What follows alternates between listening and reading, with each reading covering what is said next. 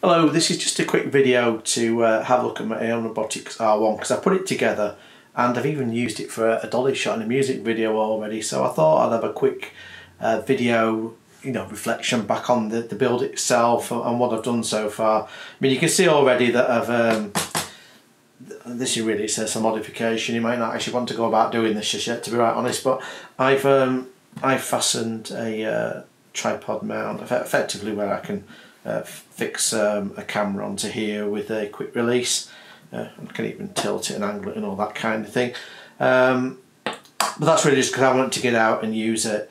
Um, Aion Robotics themselves are working on some adapters that actually mount over these uh, screw points so you won't actually have to do any drilling yourself. So uh, I wouldn't worry too much about having to do something like that unless you just want to actually get out there and get something filmed immediately.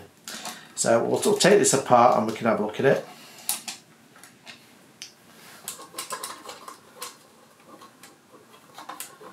Nice thing is here, these screws are toolless really, you can grip them with your thumbs and take them apart. Take out the uh, solar battery.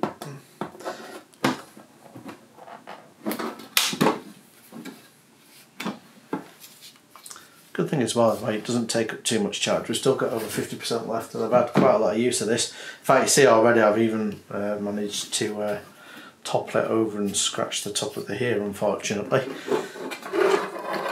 Right, so this is the build itself, so uh, I'll talk you through it. Obviously that is a Pixhawk 2.1 cube, but this is the, the carrier board it comes with. Um, that's just a normal RC receiver, so that's uh, I think the FlySky receiver. Uh, I've just gone for the RC control that um, Aion Robotics normally sell with. Um, although I've been in the UK, I didn't get the full pack. I just chose the same RC remote off Amazon. I've gone for an old 3DR telemetry radio. Now, I wouldn't actually recommend doing that. They're not that secure. This was just because I had one kicking about and it was a way of just getting telemetry to it. Um, I mean, you can connect, in fact, what I normally have, and it should have been connected up, so I must have taken it off already. Uh, where can I Oh no, I see it's at the back. That's the uh, USB that goes straight into the uh, Pixhawk. That comes up the top here, so then you can connect into the USB to your computer. So actually, you could just have a long USB lead to this whilst you want to configure anything. Um, it's just if you're doing the um, the compass dance on the compass dance on this you've got to spin it around upside down and that. You get a bit twisted up with the USB cable. So really that's the only reason I've gone for telemetry radio. But the better option is to get a Raspberry Pi and um, put software on that to do the telemetry. And I've not done that yet so I can't really tell you the process in that. I don't believe it's hard but what I need to do is figure that out and do a tutorial and then that'll be the recommended method of uh, passing back telemetry I think. So obviously you've got your uh, GPS here that you've fed through. That, that This is the only uh, minor mod in the install. I mean you could try and squeeze it down there but I've just drilled a hole uh, here and you, there's actually a hole already pre-drilled for it to come out here so you just feed, feed it down through and then that's your GPS lead. Um, that's the buzzer which comes with the Pixhawk 2. That's just so you can hear tone so you know it's it's powered up okay. I chose to use the uh, the rubber fixtures you've got either side for passing wires out to actually pass out one of the um, antenna. This is the motor controller at the back. I don't know if you can see, but it has its own USB connection. So part of the install, the fact the first thing you do, um, actually do bear in mind actually, it does say power this up without the Pixhawk, but you need quite a bit of current being drawn for the 3DR battery to stay on. So actually you're better off putting in the Pixhawk first put on the here GPS as well uh, and then power this up and then this will stay on. But what you need to do is connect this with the USB and you need to change the setting on it. It's covered in the manual but you need to tell it that it's being controlled by RC um, otherwise the motor controller won't work. Um, let's spin this around and have a look. I Hope you can still see this okay on the camera. So you've got outputs 1 and 3 here. One goes to 1 on the controller here 3 goes to 2 on the control here, so that's literally you plug in there. Um, this connection here is to the uh, receiver, so that's literally all the connections you need to do, really simple. Um, everything else is just your normal Pixhawk configuration. It comes here with a connection onto the XT60 which tells the, not only powers the uh, cube but it tells how much voltage is coming through the battery. So really that's all you have to do to put this thing together. Um, these are for the optional code computers if you've got them, which most of you won't be using anyway, so you don't need to worry about them. So that is your install from a hardware viewpoint. So what you'd normally do is, once your hardware is done like that, you put the case down, uh, screw it back together, use the USB on here, connect that to your computer with Mission Planner, and then you can configure it all. So you need to load the ArduRover software onto the Pixhawk. Um, you don't even need to do any configuring with that because there's a parameters file for this already, so you can just load that on. All the parameters are set. Now, I do find the parameters on that make it more uh, like a robot, i.e., you know, it just stops immediately. It's very quick. I mean, you can almost bunny hop this thing as you, as you stop quickly, um, which is, isn't what you want for video. So I have been sort of playing with the tuning to make it um, more tame, um, which has helped.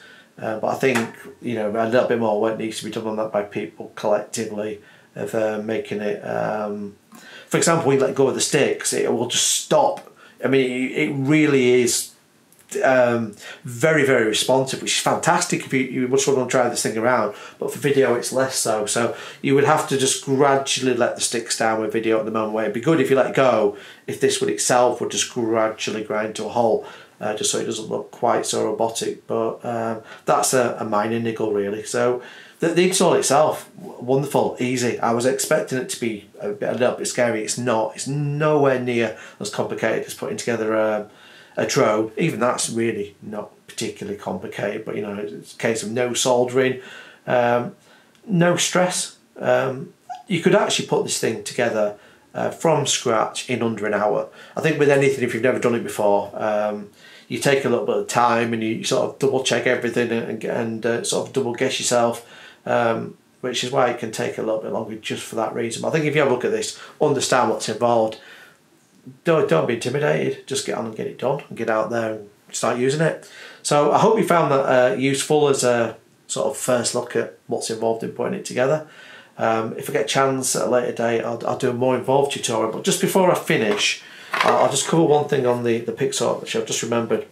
Um, there are actually four screw holes uh, on this um, platform to actually so you can actually screw the Pixhawk in. It comes with four screws. Also comes with I'll just grab one. Um, comes with various uh, 3M stickers. I actually go for the thinner ones.